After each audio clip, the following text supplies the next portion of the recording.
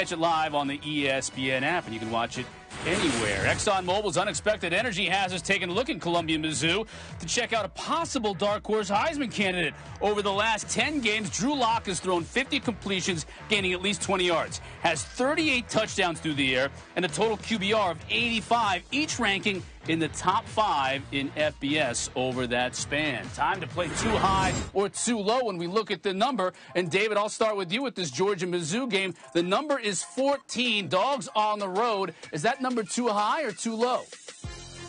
I think it's too low. Um, when I look at Missouri and Drew Lock, he's had a lot of success. They haven't beaten a team with a winning record in two years now. And um, I think defensively, it's going to Des. They're going to have a, their hands full stopping the run game from Georgia. Last year, Drew Lock had some success against Georgia passing the football.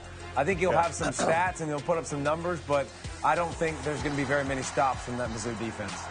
Yeah, I like Georgia's run game too now, especially Holyfield's coming to his own. I, I, think the number is too low. I was foolish enough to pick South Carolina to beat Georgia a couple of weeks ago when they played in Columbia. I'm not going to make that mistake again. So mm-hmm. I think mm-hmm. Georgia covers. They, they'll probably win this game by 17 points. I like what yep. you did there, Des. Columbia, Columbia, Missouri. That was nicely yep. done, Des. Exactly. I like that.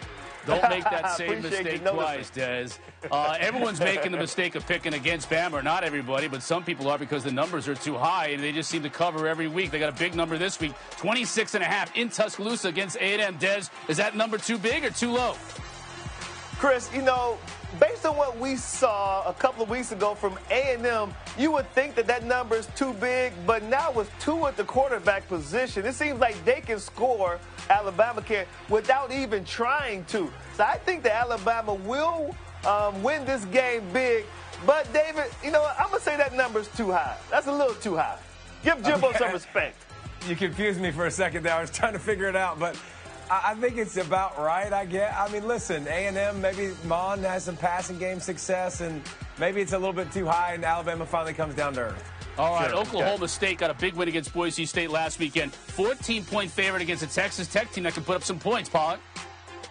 They can put up points, but they can't stop a nosebleed. Um, so, I, listen, I, I, know Cliff Kingsbury. Doesn't matter who's at quarterback. You know, you lose your quarterback game one, and it's just you play a freshman, and it's all good, and everything looks great. But defensively, I still think Oklahoma State will get more stops, and I think Texas or Oklahoma State will win.